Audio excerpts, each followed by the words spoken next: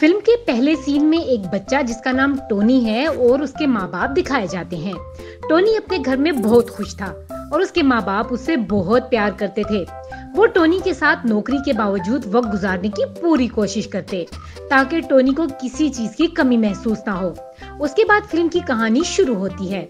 Tony एक दिन सुबह उठता है और अपने कमरे की खिड़की से देखता है कि उसके माँ बाप टैक्सी से उतरकर घर में अंदर आते हैं। टोनी जल्दी नीचे जाकर देखता है कि माँ बाप के पास एक बहुत ही छोटा बच्चा होता है, जिसने काला सूट और टाई पहन रखी थी। माँ बाप टोनी को बताते हैं कि ये उसका छोटा भाई है। टोनी उससे काफ़ी तंग था, क्योंकि छोटे भाई के आने के बाद माँ बाप टोनी की तरफ़ इतना ध्यान नहीं देते। एक दिन टोनी माँ बाप से कहता है कि ये बच्चा काफ़ी अजीब है, क्योंकि ये काला सूट पहनता है और इसके पास एक बक्सा भी है।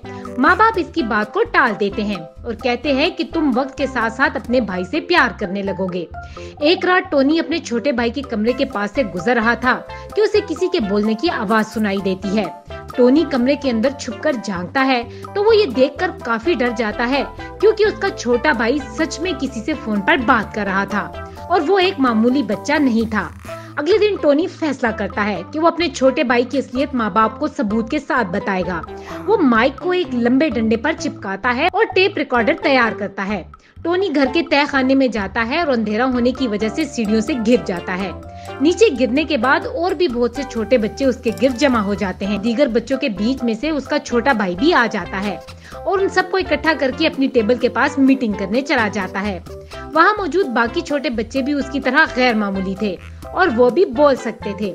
टोनी पीछे छुपकर डंडे पर लगा माइक और टेप रिकॉर्डर ऑन कर देता है, ताकि उनकी बातें रिकॉर्ड हो जाएँ और वो अपने माँ बाप को बता सके अपने छोटे भाई की हकीकत।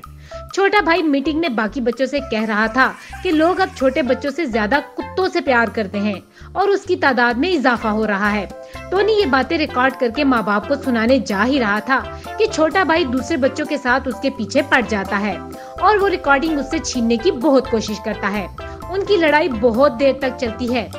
इस दौरान छोटा भाई टोनी का पसंदीदा खिलौना तोड़ देता है, जिस पर टोनी को बहुत गुस्सा आता है और वो उसे झूले में डालकर खिड़की से बाहर फेंकने वाला होता है। इतने में उनके माँ बाप ये सब देख रहे होते हैं और वो टोनी का सजा के तौर पर घर से बाहर जाना बंद कर देते हैं। टोनी अपने कमरे में काफ़ी उदास बैठा रहता है और इस तरह कई दिन गुजर जाते हैं।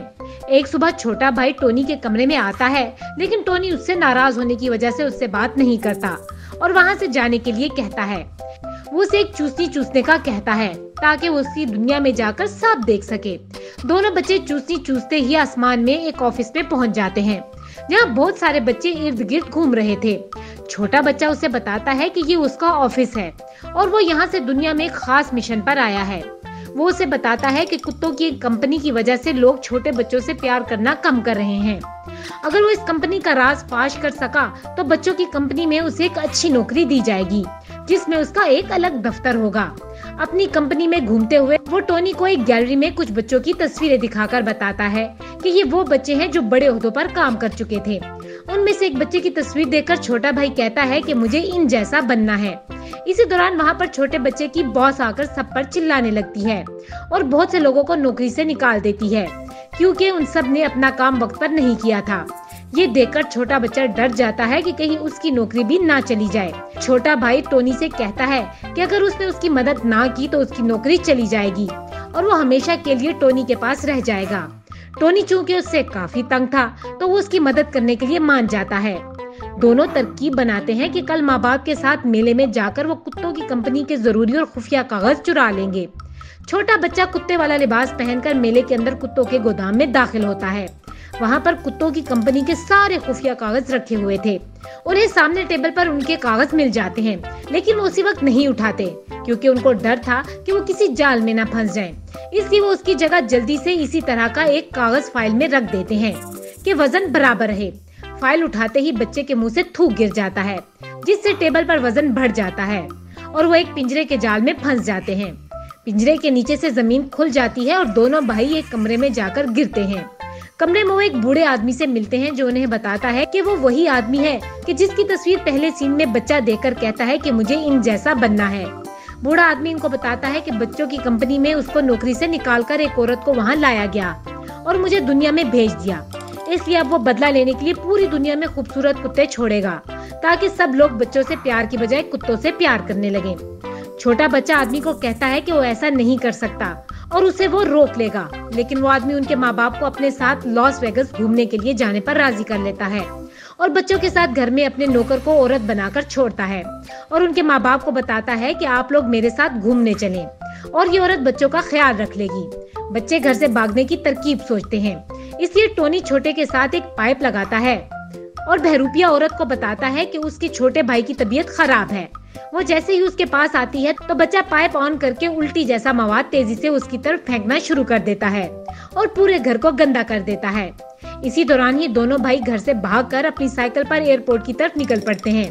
उनके पीछे बूढ़े आदमी का नौकर भी पड़ जाता है और उन्हें पकड़ने की पूरी कोशिश करता है। इसी दौरान छोटा बच्चा अपने बाकी साथियों को भी बुला लेता है।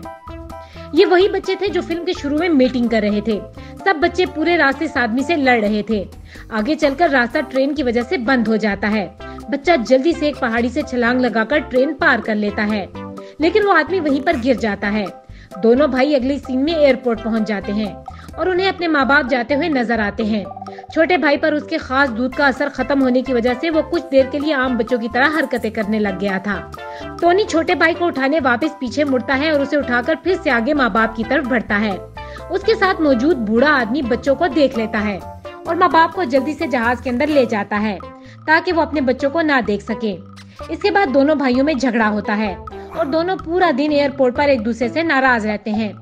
शाम को छोटा भाई टोनी को फ़ोन करके कहता है कि उन्हें किसी तरह इस मिशन को मुकम्मल करना होगा।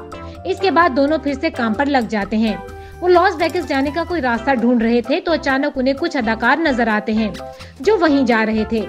दोनों भाई उनमें से एक के कपड़े चुराकर जहाज़ में दाखिल हो जाते हैं और बिज़नेस क्लास की सीट पर बैठ जाते हैं, जहाँ कोई नहीं होता। एयर होस्टेस इनसे पूछती है कि वो कौन है? तो वो बताते हैं कि वो पायलट के बच्चे हैं, इसलिए वो उन्हें कुछ नहीं कहती और इस तरह दोनों भाई लॉस वेगस पहुँच जाते हैं।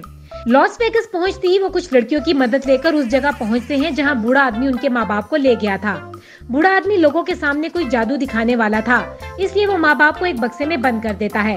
इसी दौरान वो दोनों बच्चों को देख लेता है और जल्दी से बक्से को वहाँ से ले जाता है। बच्चे पाइप से चढ़कर इसके पीछे जाते हैं, जहाँ इस आदमी का नौकर वहाँ पहुँच फिर से बच्चों को पकड़ने की कोशिश करता है। बच्चा उसे पाइप से नीचे फेंक देता है। दोनों ऊपर चढ़कर देखते हैं कि एक बड़े रॉकेट में बहुत सारे कुत्ते डाले जा रहे थे, ताकि वो पूरी दुनिया में फैल सके। और साथ ही नीचे बहुत सारा खास दूध था, जिसकी वजह से उम्र नहीं बढ़ती। ये वही दूध था जो छोटा भाई भी इस्तेमाल कर रहा था। दोनों भाई बूढ़े आदमी के सामने चले जाते हैं।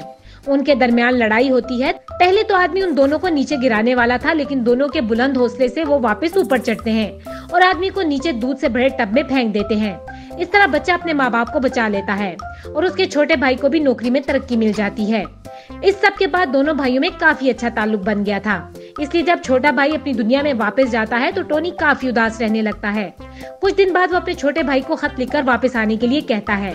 छोटा भाई खत पढ़कर बहुत खुश होता है और अपनी कंपनी छोड़कर दुनिया की तरफ़ वापस आ जाता है। फ़िल्म के आखिरी सीन में छोटा भाई पहले की तरह फिर से माँ बाप के साथ घर में आता है, लेकिन इस बार वो एक आम बच्चा बनकर आता है और यहीं पर फ़िल्म खत्म हो जाती है।